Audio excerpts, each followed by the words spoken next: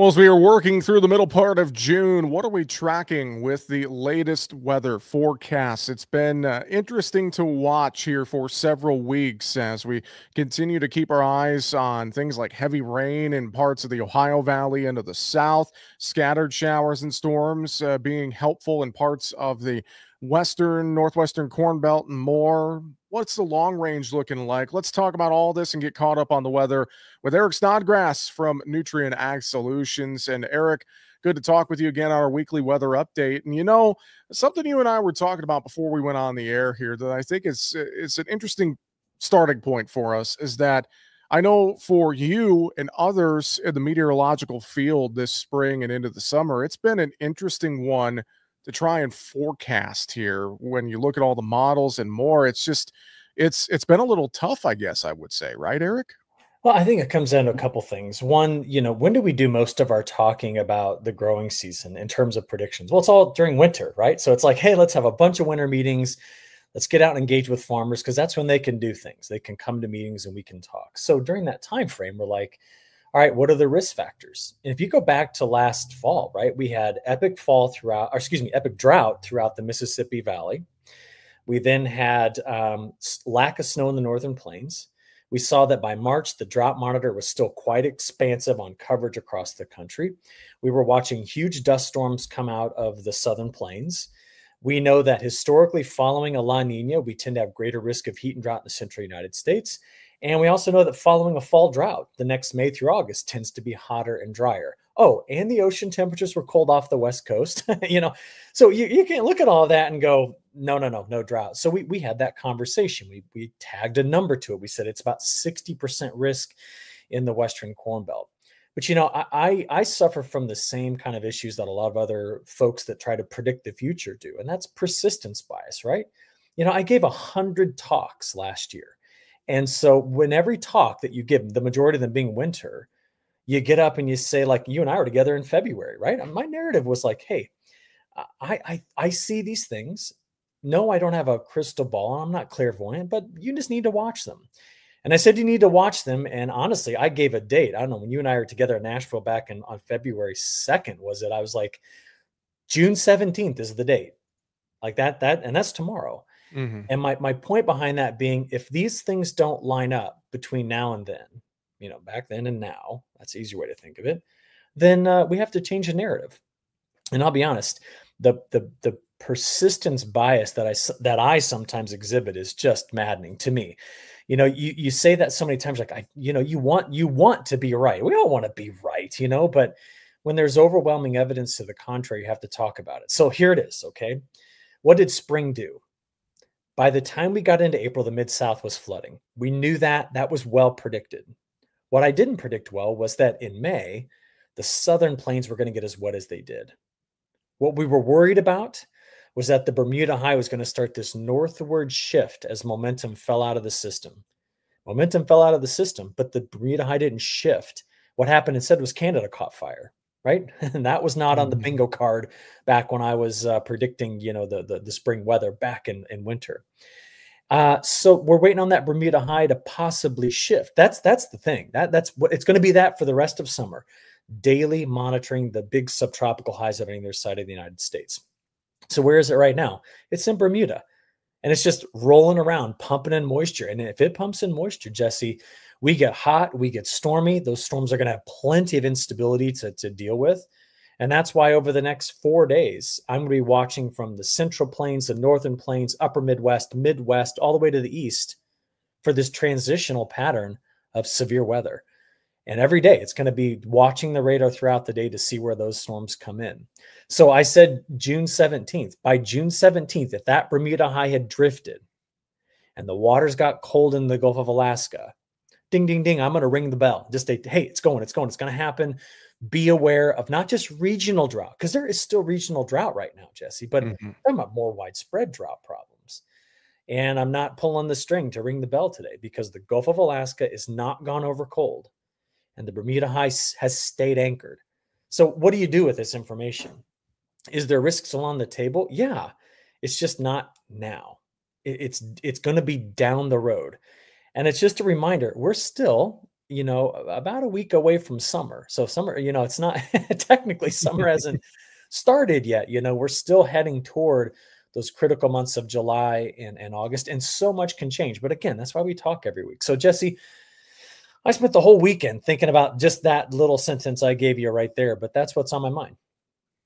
Well, and you raised some very interesting points to think about here. And uh, to the one you just had about there's still definitely still risk on the table, just not right now.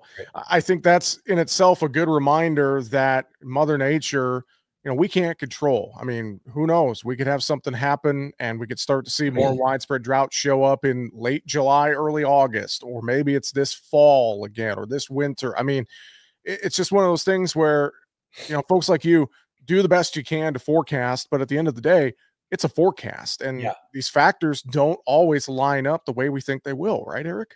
Well, that's not only it. It's it's also the fact that every prediction of the future, every prediction of the future that we do uh, is probabilistic.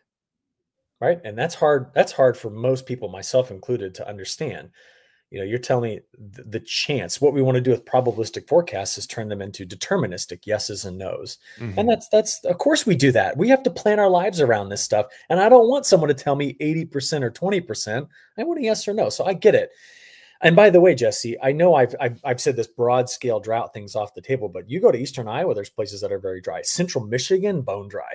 You can find pockets in Illinois, Indiana, Wisconsin, the Red River Valley of the North, very very dry. There's pockets in the Northeast that are dry. The Northwest. So this isn't like we've just uh, oh no no no everybody's got rain. You know there's issues, and I'll be honest with you. The upcoming forecast for the Southern Plains, we've got hot conditions, very hot conditions, very windy conditions and to be honest, I'm very thankful that the storms hit Oklahoma over the weekend because had they not gotten those storms, we'd be going into a flash drought scenario in central Oklahoma as well. So it's just important to say here that we are now moving into a time of year where the way that precipitation is delivered is hyper local from thunderstorms. And it's going to be that way until until the hurricane season starts. So what you got up to this point is what's going to help sustain you through the rest of the season. And if you're in the have-nots category, then we're still worried. Well, we're definitely going to keep our eyes on all of this and the weather pattern here in the U.S. as we move into the back half of this month and beyond. How about looking around the world, Eric? I know there's plenty of things on the table worldwide. What are some of the key ones you're watching this week? Yeah, so the same pattern that's set up over North America is also changing things over Europe. So big ridge in Central Europe, it's getting hot, it's getting very dry from Central Europe all the way over to Ukraine. That's got to be watched.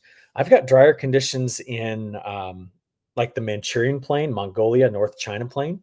Got to watch that. It's very wet just north of the Yangtze. Could be major flooding there. Southeast Asia is very wet, but Australia, the southern part of Australia, from from Western Australia through South Australia through Victoria and Queensland, uh, not Queensland, excuse me, New South Wales. That's a whole southern tip. They're, I mean, and severe to exceptional drought there. Now it's the middle of winter, but they grow winter crops too. Don't forget. So we've got issues in other parts of the world that need to be watched carefully. But I, will just come back to what I said. I feel like most of the trade is just watching U.S. weather right now, and we might have one of these international problems just all of a sudden jump up, and folks go, "Oh shoot, we we've got a production problem here too." Now that that may or may not be true. I'm only giving you that based on what I hear day in and day out. And I'm just a little tiny pinch of the entire ag ecosystem, right? But, uh, you know, it's just some perspective to offer. Well, and it's something too. We watch all these different pieces around the world, how they come together. You mentioned, you know, the Bermuda High and, and hurricane season, and when that starts to ramp up. And it's just, it's a reminder that we have to stay on our toes and, and pay attention to the weather day in and day out, right, Eric? Yeah, it is. And I would still tell you, you know, uh, if I could if I could be confident in any forecast right now, it would be that through the remainder of summer into fall, I expect there to be continued across time and geography major disparity, major ranges in precipitation.